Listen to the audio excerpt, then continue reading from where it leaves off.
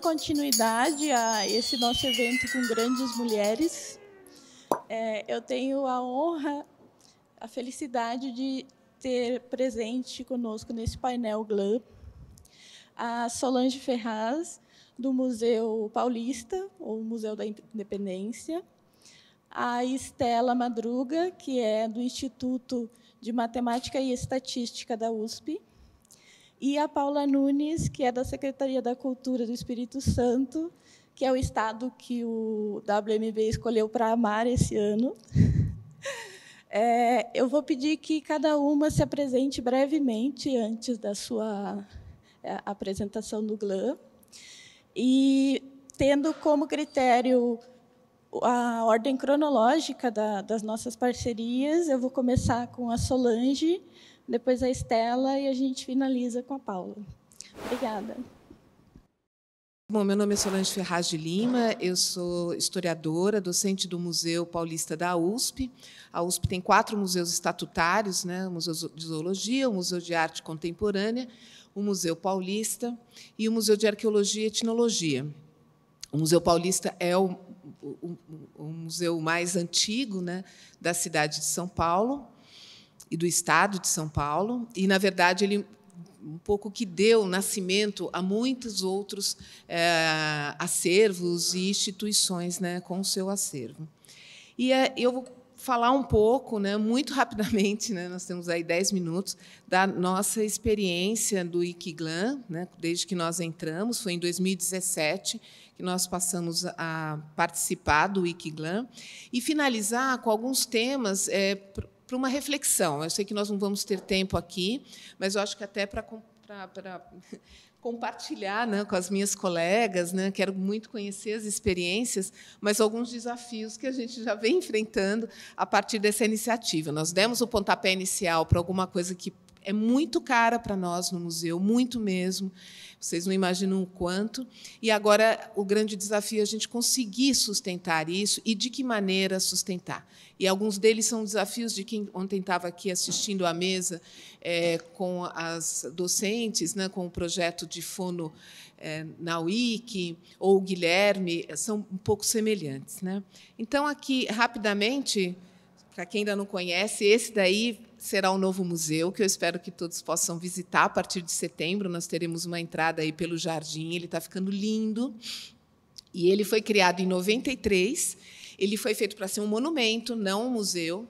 O museu que foi criado em 1894, o Museu do Estado, foi transferido para esse edifício monumento e, e, aberto ao público em 1895. Era um museu enciclopédico, né, com história natural, muito típico dos museus do século XIX, e, portanto, com uma coleção muito voltada para a pesquisa. E isso é um dado fundamental que vocês já vão entender, né, quando eu falar desses acervos de um museu centenário, que desde que ele foi aberto ao público e, portanto, desde que ele foi criado em 1894, a partir de três pequenas coleções particulares, muito bric-a-brac, né, essas coleções parecidas com gabinetes de curiosidades, os acervos nunca pararam de crescer, o que nos dá esses números que nos fazem aí entrar né, nesse um conjunto aí de grandes museus é, do Brasil. Né? São 30 mil objetos, 350 mil unidades de documentação textual 70 mil documentos iconográficos.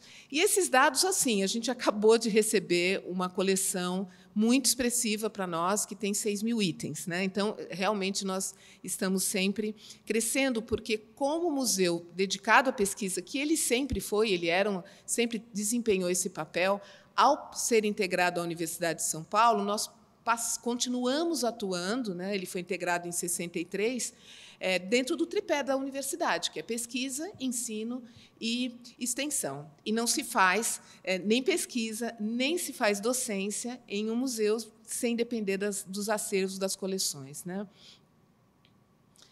Bom, aqui eu retirei isso daqui da nossa página do próprio GLAM, mas é um pouco histórico, né? É, desde quando nós, é, o João nos procurou aí no finalzinho de 2016, eu tinha recém ah, assumido a gestão do museu, né? Eu fiquei na direção do museu de 2016 2020. Então eu sou uma diretora de museu é, curioso porque eu entrei com o museu fechado para visitação e saí com todos os museus fechados para visitação, que foi na pandemia. Né? Então, eu posso dizer que as nossas experiências lá, elas um pouco que cobrem é, os percalços né, dos museus é, em meio à pandemia e todas as dificuldades. Mas nós já vínhamos vivendo isso e um pouco da nossa decisão e da super oportunidade né, que foi trazida pelos, ah, pela Wiki, pela, pelo movimento Wikimedia para nós, né, por meio do João, dessa visita, é, foi de nós conseguirmos man, nos manter é, em diálogo né, com o público, é, divulgando o nosso acervo. Né? Nós não estávamos mais, mais, divulgando nas nossas exposições. Né? Foi a primeira vez que o museu fechou dessa maneira tão total, e, e nós sabíamos que iríamos ficar muito tempo. Né? Nós é, temos um banco de dados online, mas, é, sem dúvida nenhuma, a Wiki era uma oportunidade única para que a gente pudesse desenvolver uma série é, de conexões com a sociedade, além daquelas que o nosso educativo continuou desenvolvendo no parque, e mesmo nós, aí, por meio de parcerias com exposições, mas era realmente uma super oportunidade. E aqui a gente tem, de lá para cá, todos os nossos parceiros né, que atuaram, então, com bolsistas, é, o CEPID foi o nosso primeiro grande parceiro né, para alimentação, carregamento de dados, né, é, nós contamos aí com a equipe, muitas das equipes, das pessoas que estão aqui, que vocês conhecem, o Éder Porto, é, o Célio, a Gil, que a Giovana que não está mais, a Érica, né? todas essas pessoas estão participando aí desde o começo desse projeto. Né? Ah, e de lá para cá, esse é um número, é um número que eu achei interessante até 33.441 mil reproduções de imagens e objetos estão carregadas na nossa, no nosso Wikiglam. Né? Esse é um número que nós temos e essa, esse carregamento ele foi acompanhado de uma ação é, que tinha uma presença também é, na Wikipédia, portanto, nós promovemos uma série de maratonas, né? Parte delas, a partir de 2020, patrocinadas pela Fundação Banco do Brasil. A Fundação Banco do Brasil está patrocinando é, toda a parte de conteúdos, de desenvolvimento de conteúdos das 11 exposições de longa duração que nós vamos é, inaugurar em, em, agora em setembro. E o trabalho com a Wiki, né, essa, essa cultura digital, ela foi fomentada também no, no escopo maior é, desse patrocínio. Então, boa parte, é, porque existe uma convergência muito grande com a Fundação, não é o Banco do Brasil, é a Fundação, porque eles têm uma preocupação na área educacional é, importante e nós é, acreditamos esse projeto muito nesse escopo educacional e de difusão é, dos nossos acervos. Então foram maratonas, né? É, que foram realizadas, dois concursos, né? e isso foi aos poucos. Aqui tem, temos esses números né, de visualizações, né, 9 milhões, a quantidade de verbetes que foram melhorados, que foram criados, né? é, sempre mobilizando esses acervos. Então, os acervos eles eram, vocês viram ali na, nos temas das maratonas, é, a presença de mulheres na pintura, a representação de indígenas, o acervo de Santos Dumont. Então, nós sempre partimos desses acervos carregados né, para que eles pudessem sugerir temas para, essa, essas maratonas e para os concursos. O último foi sobre a Casa Brasileira e nós teremos uma grande exposição discutindo o espaço doméstico é, na, no, nas nossas novas exposições. E aí, tenho só cinco minutos, eu vou falar um pouco dos nossos desafios e eu gostaria de deixar algumas questões é, que são questões que nós estamos enfrentando hoje. Como expressar as mudanças na política de acervo da instituição na, nas plataformas é, Wiki? E essa é uma preocupação, porque quando eu. Vamos ver se eu vou conseguir aqui. É, ai, meu Deus, é isso que não conta no tempo, né? É, agora não consigo. Puxa vida, agora ele travou aqui. Eu queria mostrar para vocês uma, um dado, não sei porque eu não estou. Ah, aqui. aqui. Eu queria mostrar esse dado para vocês, vocês estão vendo? Ah, não? Por que, que ele não entra? Ótimo. É... Deu? É, era esse dado que eu queria trazer para vocês, é, porque, vejam, eu tenho 33 mil eh, de acervo carregado, mas quando eu olho, eu acho que ali não dá. É, quando você vê quais são, o que ocupa os primeiros lugares desse carregamento, nós continuamos tendo essas representações é, de uma certa versão né, da independência e os ícones do Museu do Ipiranga que aparecem ali. E isso, para nós, é lógico que a gente está no período do 7 de setembro, do bicentenário, mas é, o museu ele é, colou a imagem do museu toda uma narrativa que foi formulada na década de 20 sobre a independência, que é uma versão da história do Brasil. Né? E uh, o museu vem se esforçando já 30 anos, é, por uma alteração da sua política de aquisição e que seja mais representativa de muitos segmentos sociais que não eram uma tônica no início do século XX, tão pouco, sobretudo as coleções históricas, né, os objetos históricos que eram doados por famílias das elites, que consideravam muito natural que os seus acervos, suas coleções fossem para o museu, né, ah, para o Museu Paulista, e houve uma alteração muito significativa, né, que está um pouco no DNA até dessas exposições que nós estamos abrindo. Porém, nós ainda temos, é, quando a gente vê esses dados, a gente percebe que essa imagem ainda é uma imagem muito presente na sociedade. Portanto, isso é um dos nossos desafios, como que nós vamos alterar, como que nós vamos subir, porque até hoje as pessoas acham que esse museu é um museu exclusivamente da independência, nós acreditamos que as exposições vão promover essa alteração, mas nossa intenção é que ela se expanda também para os ambientes digitais. Né? Agora, eu espero conseguir voltar para o meu PPT. Tá, para finalizar,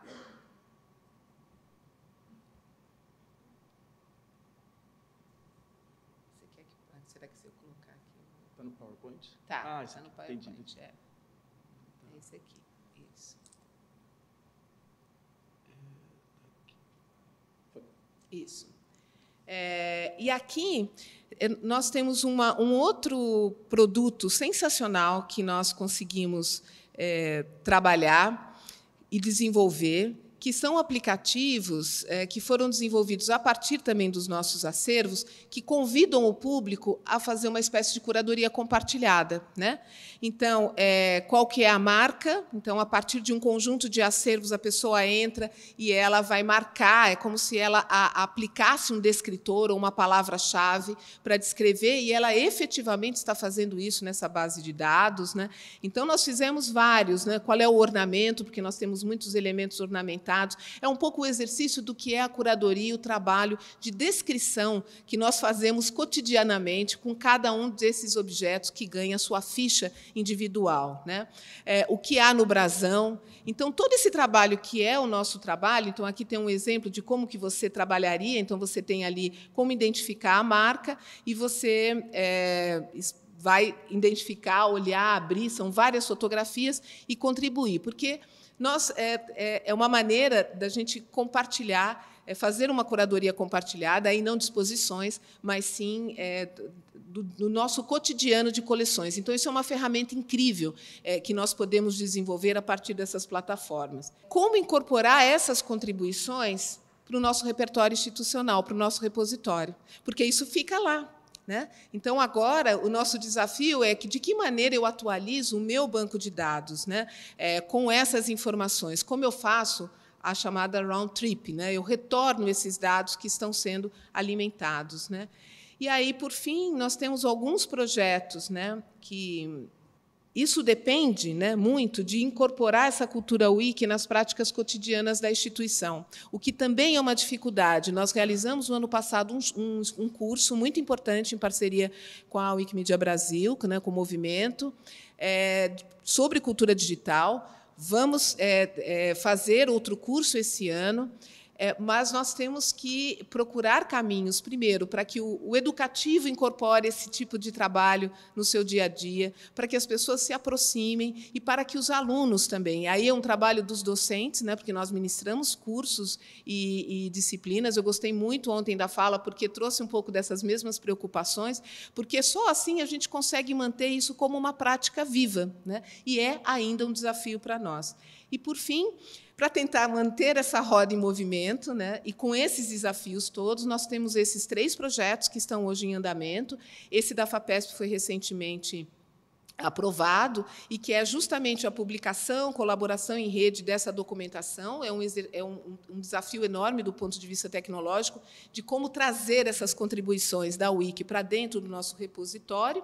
E dois outros projetos, né, é, patrocinadores distintos, mas é a nossa migração para o Tainacan, é, para que a gente a gente tenha um banco online, a gente tem desde 1990 um sistema documental é, digitalizado, mas hoje nós estamos migrando para o Tainacan e isso provavelmente, pelo menos o primeiro módulo desse dessa migração, nós estaremos abrindo agora em setembro, né? Então, eu deixo aqui a minha série de desafios. Desculpa ter passado um pouquinho do tempo, acho que foi essa questão aí da, da, da tecnologia aqui. Muito obrigada.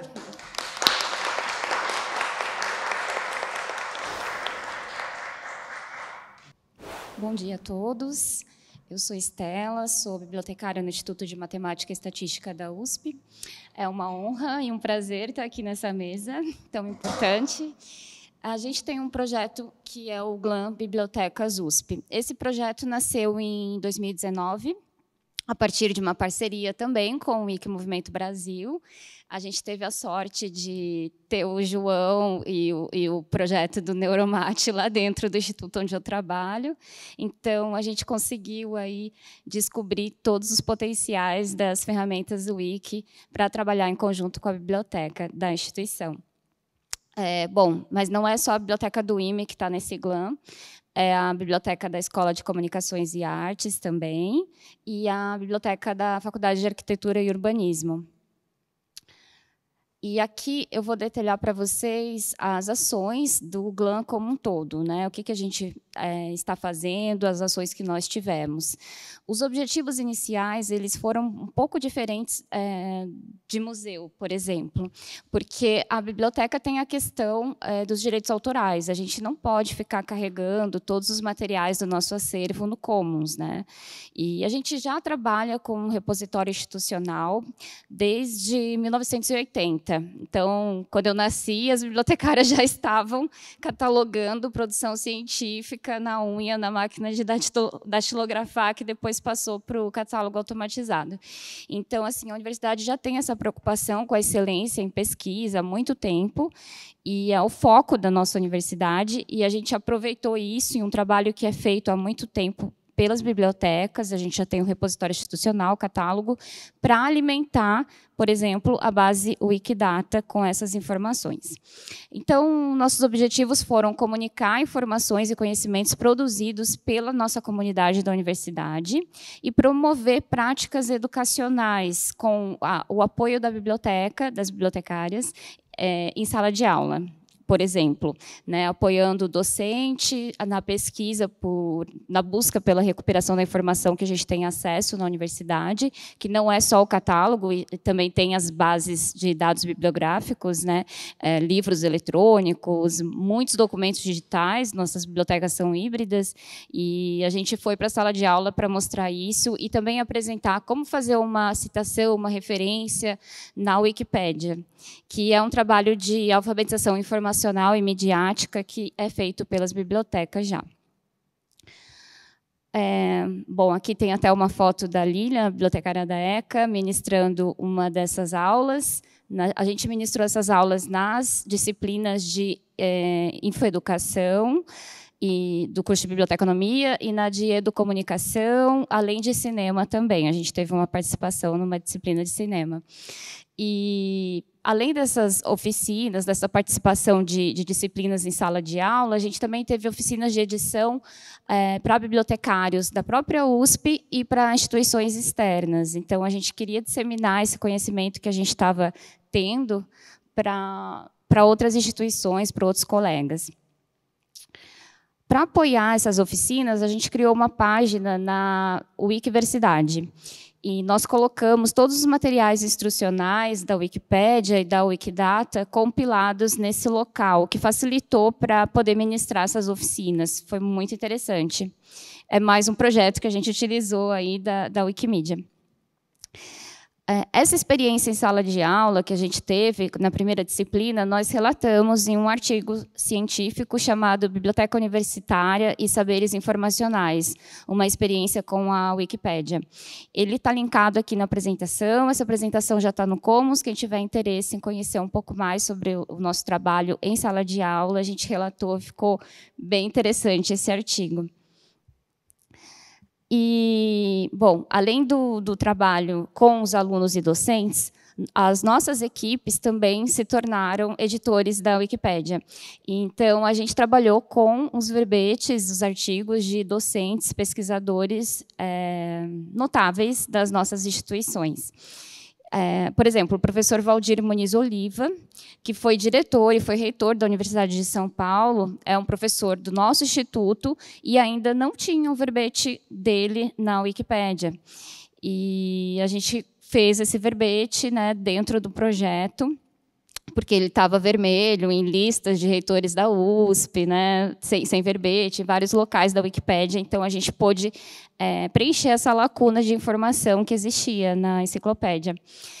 Além disso, tem o verbete, por exemplo, do professor Carlos Benjamin de Lira, que é o patrono da nossa biblioteca, é o nome da nossa biblioteca. Ele também não tinha um verbete, mas depois que a gente começou a editar muitas informações no Wikidata, na Wikipédia e tal, com o nome da nossa biblioteca, acho que despertou um interesse no, em editores da própria Wikipédia que criaram esse verbete, assim. E ele é um matemático super notável, teve, eh, ele é o pioneiro de álgebra, topologia algébrica. Ele também é, presenciou, por exemplo, a batalha da Rua Maria Antônia na época da ditadura militar, que era uma, uma revolta que teve entre estudantes do Mackenzie e da USP. Tem livros que relatam isso na nossa biblioteca e a gente pôde é, melhorar esse verbete com os conteúdos que a gente já tinha na biblioteca, com o acervo que a gente tem. Então, isso também é muito interessante, né? E a biblioteca da ECA conseguiu até fez também diversos criou diversos verbetes de pesquisadores e conseguiu a estrelinha em dois verbetes de duas pesquisadoras professoras é, conseguiu destaque, né? Além de criar, também é um verbete com qualidade, né? Tem essa preocupação também. Na Wikidata, a gente fez o trabalho então de inserir a produção científica que a gente já tinha no nosso catálogo é, primeiro, nós começamos a inserir os nossos institutos, departamentos da, das unidades, programas de pós-graduação, para depois inserir os pesquisadores vinculados a essas afiliações, né, como empregador e como alma mater para depois a gente começar a inserir as informações dos artigos de periódicos, né, que é onde a gente está hoje. A gente está carregando o, as informações bibliográficas de artigos. Aqui eu coloquei uma visualização da ferramenta Escolha, que traz isso automaticamente. Quando a gente pesquisa pelo, pela instituição, pelo nosso instituto, ela já traz esses gráficos aqui que visualizam coautorias, quem foi orientador de quem e tal, porque a gente fez um, um preenchimento no registro de pessoas, de pesquisadores, super completo. assim. Então, ele tem muitas informações, todos os identificadores de autores, onde ele estudou, é, se ele fez mestrado, doutorado no Brasil, no exterior. Então, então, é bem completo o registro. É, isso aqui também eu acho que é interessante mostrar que depois que a gente cadastrou o perfil de pesquisador na, na no Wikidata é, e os artigos, os artigos já aparecem no próprio perfil do pesquisador. É autor de e já aparece a lista de, dos artigos que ele publicou. Então, nesse mesmo local. É uma maneira de visualizar também e centralizar essas informações. Eu achei muito bacana que tem essa forma de identificar. A gente criou também duas propriedades na Wikidata, específicas para o nosso repositório institucional da USP. Uma para identificar as pessoas, os pesquisadores, do nosso repositório e outra que é o, o identificador do documento no nosso repositório. Então, a gente aprendeu a criar até propriedades na Wikidata. Então, teve essa troca. Né? A gente está linkando para o nosso repositório, como você comentou. Né? A gente alimenta lá e também linka para o trabalho que a gente já faz na universidade. Onde que a gente está hoje? Né? A gente continua trabalhando com os artigos, é, inserindo na base de dados Wikidata, mas agora via OpenRefine, que é uma ferramenta muito interessante que a gente descobriu, que a gente consegue trabalhar, organizar os dados nessa ferramenta e exportar para o Wikidata com qualidade, sem duplicar registros na base de dados. E tem funcionado muito bem dá trabalho, não é tranquilo. A gente aprendeu a tecnologia, mas está fazendo isso nas bibliotecas. Né? A gente nem precisa mais do Wiki Movimento Brasil para nos ajudar nesse sentido, porque a gente aprendeu a usar né, as ferramentas disponíveis. E a gente também está fazendo uma reflexão sobre as atividades em sala de aula, porque nós notamos que é, quando não é exigido nota para os alunos trabalharem nos verbetes né, temáticos da disciplina, é, não tem o engajamento esperado, né? parece que eles só fazem por causa de nota e tudo mais. Então, a gente está se questionando se esse é o melhor formato de atuar e promover essa apropriação da informação. Então, talvez a gente faça um curso de extensão um pouco mais é, demorado e tal para as pessoas é, aprenderem e se engajarem ali nas ferramentas. Ah, bom, a gente ainda está também melhorando, criando novos verbetes também de pesquisadores, que tem muita coisa para fazer. A gente tem muito material nas nossas bibliotecas. E também estamos difundindo né, nossas atividades do GLAM para outras é, bibliotecas que queiram fazer uma atividade semelhante. E eu acho que é importante a gente fazer isso porque é, as bibliotecas universitárias ficam muito fechadas dentro ali de si próprias, né? E a gente sai um pouco dessa elite acadêmica que só conversa com si mesma e, e populariza, né, o conteúdo que a gente tem, que não é qualquer biblioteca, qualquer instituição que tenha. A Universidade de São Paulo realmente investe muito. É, a gente tem muito conteúdo e pode é, dar acesso, promover o acesso, né, que entra dentro do guarda-chuva da ciência aberta, que é um dos nossos objetivos. Né. Bom, é isso. Tem a página do GLAN, das bibliotecas USP. Quem tiver interesse de se inscrever lá para conhecer os nossos projetos. E este é o meu contato. Obrigada. Meu nome é Paula, eu sou museóloga da Secretaria de Cultura do Espírito Santo, né? E sou gerente do projeto Mediateca Capixaba. E queria começar agradecendo muito o convite né, do Wiki Movimento Brasil para estar aqui compartilhando com vocês sobre esse projeto que tem aí percorrido nossos pensamentos e nossas ações nos últimos três anos, desde 2019. Diferente das minhas colegas, eu que fui atrás do pessoal do Wiki Movimento Brasil. Vi Érica falando um dia e fui atrás dela, né? mandei e-mail para procurar essa parceria. Era uma parceria que já estava no nosso radar desde o começo, quando a gente começou a pensar o projeto. Então, também queria agradecer muito por essa parceria, porque, para vocês terem uma ideia, a Mediateca Capixaba acabou de ir ao ar. Assim, a gente lançou ela dia 30 de junho. Então, nós iniciamos a parceria com o Wiki Movimento Brasil antes mesmo desse projeto estar disponível para o público, né, para a sociedade. Então, também quero agradecer muito pelo Wiki Movimento Brasil ter acreditado junto com a gente, ter se apaixonado por esse projeto junto com a gente, né, e estar tá seguindo aí agora para outras parcerias de outros projetos no futuro também conosco. É, para iniciar, eu queria começar dizendo para vocês que esse é um plano de dominação do Espírito Santo, tá bom? Estejam cientes, vocês vão ver que ele é muito amplo, ele tem muitos braços, muitas cabeças, muitas áreas a serem trabalhadas. Então, já que todos vocês aqui já estão assistindo sobre isso, eu estou considerando todos vocês também tão conspiradores quanto eu, né? E espero que no futuro a gente pense em parcerias, em projetos juntos que possamos ampliar né, e resolver, talvez não resolver, mas pensar também novos desafios sobre os acervos digitais e a preservação. Então, só para vocês entenderem, a Mediateca Capixaba ela é, na verdade, um projeto de Estado para a preservação e difusão de acervos. Né? Ela se inicia em 2019, todo esse planejamento, pensar plataformas possíveis, como que isso seria realizado. E isso, para além de se pensar na plataforma online como essa ferramenta de difusão desses acervos, também tem, além disso, todo esse tratamento dos acervos. Né? Então, isso envolve aquisição de equipamentos, contratação de serviços, toda a gestão das informações desses acervos, todo o tratamento de conservação e restauração. Então, ele é um grande projeto que, para a sociedade, ele aparece a plataforma online e todo o conteúdo produzido sobre esses acervos dentro da plataforma, bem como esse material.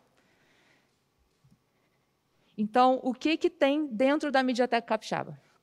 A Mediateca Capixaba contempla os mais diferentes suportes. E vocês vão entender mais para frente por que tantos desafios. assim, né? Então, ele envolve acervos de diferentes instituições, todos que tenham relação com a cultura e com a história do Espírito Santo. Né? Então, não importa se não é um museu, não importa se não é um arquivo, se não é uma galeria. Tá? Para além disso, a Mediateca Capixaba tem esses três eixos de acervo, memória e acesso, porque a gente tem como proposta justamente cuidar desse acervo, né, trabalhar então, com conservação, restauração, documentação, para além da digitalização e da difusão. A gente tem a questão da curadoria baseada nessa relevância né, para a história, para a memória capixaba, e a gente tem a questão do acesso porque também o principal da Mediateca Capixaba é ser acessível ao público leigo. A gente entende que tem algumas plataformas que dificultam um pouco o acesso das pessoas que não são pesquisadoras, né, que não têm essa prática de pesquisa já, de trabalhar com isso no seu dia a dia. Então, a ideia com a Mediateca também é que ela tivesse uma interface extremamente intuitiva e simples para ser acessada por qualquer pessoa, e por isso a gente também optou pelo Tainacan. né? A gente pesquisou todas as plataformas, todas não tem como falar, né? mas assim, muitas plataformas disponíveis no mercado e acabamos optando pelo Tainacan também por ser um software livre. Né? É do nosso interesse que esse conhecimento, isso seja replicado, até porque, como eu falei para vocês, é um plano de dominação do Espírito Santo. Vocês vão ver que a gente começa agora com o governo do Estado. Ano que vem a gente começa a receber os acervos dos municípios e dos particulares dentro da plataforma. Né? Então, a gente precisava que fosse uma plataforma simples, que pudesse ser replicada, que os municípios pudessem utilizar. Hoje, a plataforma tem essa parceria com a ONB, que é quem faz a gestão do Tainacan, né, que tem todo esse controle. Então, a gente tem a parceria com a ONB e a FUNAP. E institucional, a gente tem a parceria com a Prodeste, que é a nossa empresa né, do Estado de Tecnologia da Informação, onde fica armazenado todo o material. Então, o storage, né, tudo que é produzido é tudo dentro do governo do Estado, fica tudo no nosso servidor.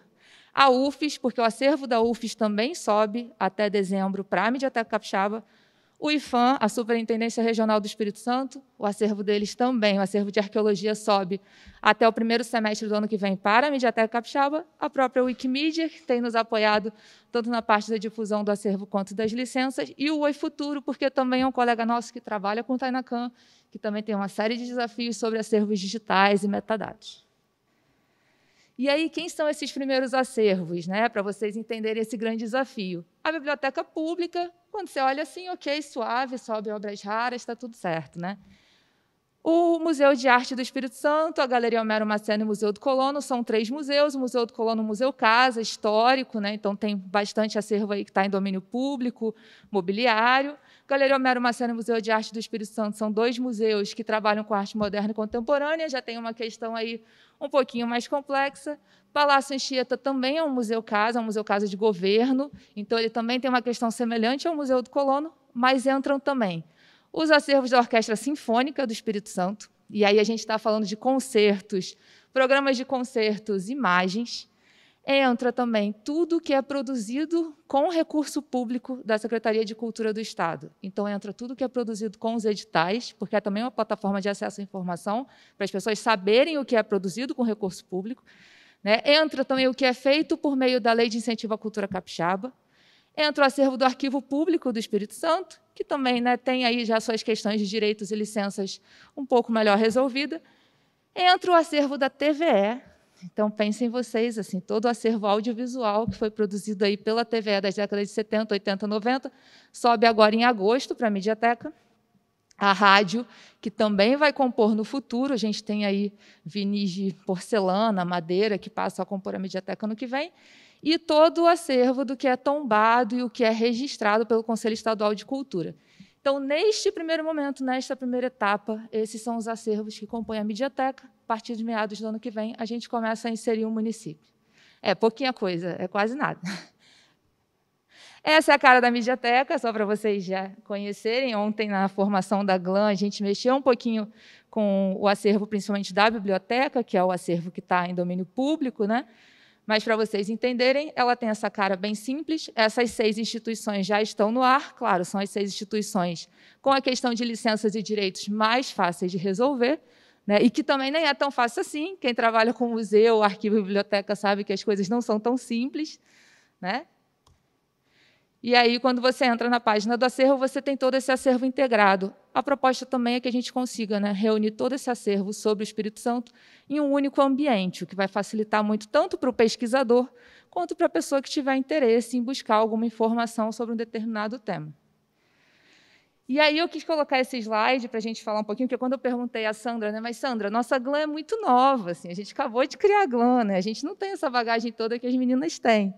Eu lá, ah, fala um pouquinho então de como que foi esse processo das licenças. Para vocês entenderem, nenhuma instituição tinha questão de licença muito bem resolvida, e não tem até hoje. Por isso que eu falei que eu não trago soluções, não. Até hoje esse é um desafio nosso. Tá? Mas a gente tinha, por exemplo, do próprio arquivo público já um termo de recolhimento, onde ele coloca para a pessoa né, que quiser utilizar o material, é, que ela terá que ir atrás de quem era o detentor desse acervo para pedir a solicitação diretamente a ela. A biblioteca tem isso melhor resolvido por conta da data de publicação e os museus não têm. Né? Os museus têm termos de doação muitas vezes muito frágeis. O que a gente tem em alguns momentos são documentos de aquisição, que aí você tem um embasamento maior para facilitar esse contato. E aí essa análise foi sendo feita conforme a prática de cada instituição, como cada instituição já atuava na liberação das imagens dos seus acervos, né, e também com base na produção desses arquivos. Então, o que facilitou para a gente é porque alguns a gente contratou serviços de digitalização, principalmente de fotografia, né, fotografia de acervos. Então, no ato da contratação, a gente já previu que o fotógrafo iria executar esse trabalho e licenciá-lo né, pela Creative Commons 4.0. Então, assim, agora a gente está tentando resolver aí todo esse tempo, esse passivo do que não foi pensado né, sobre esse licenciamento dos acervos.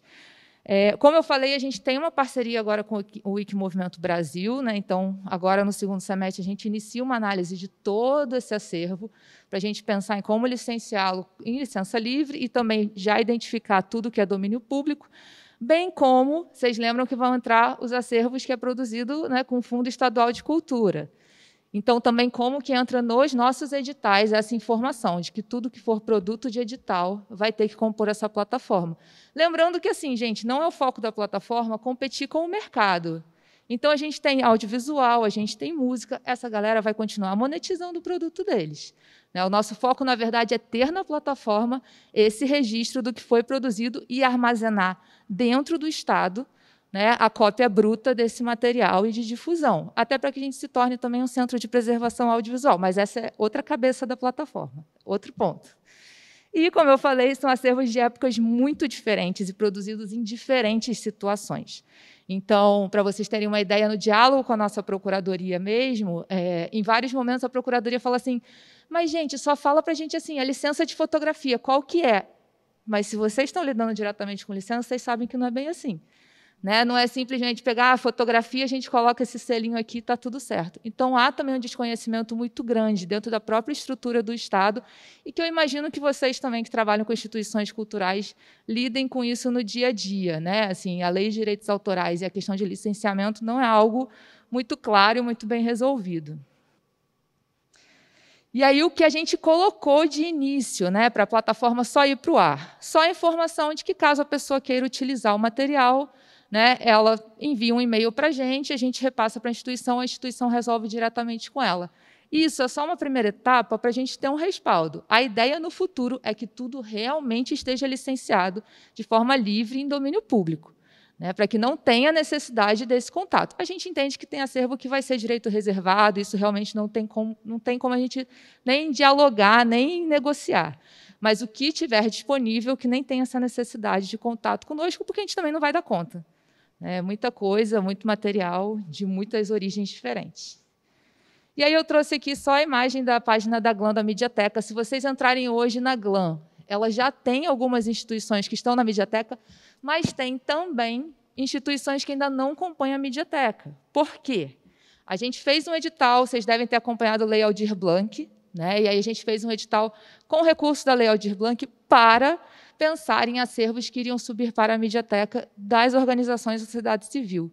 Então, a gente tem ainda também um acervo do Instituto Histórico Geográfico de Vila Velha na Mediateca, a gente tem um acervo do Conselho Pinheirense de Bem-Estar do Menor, e a gente também tem um acervo que é de registro de um folclorista capixaba, o Guilherme Santos Neves, que está disponível na nossa GLAM.